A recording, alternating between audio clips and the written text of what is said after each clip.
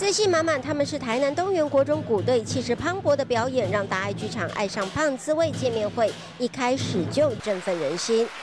哎，一般一般，我以前没有这么凶呢。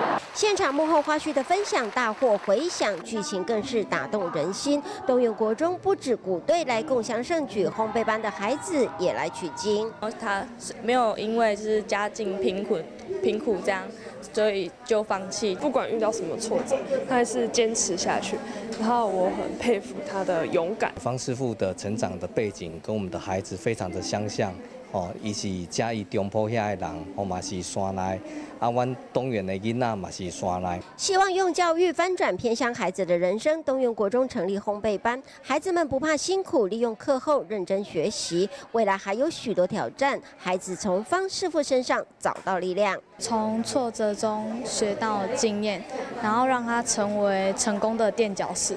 是由凤梨还有龙眼干来制作的哈，这是东园国中的小朋友。大爱剧场真实人生，天天感动，向方师傅学习。孩子们说，就从结好缘开始做起。大爱新闻潘玉珍、陈立伟台南报道。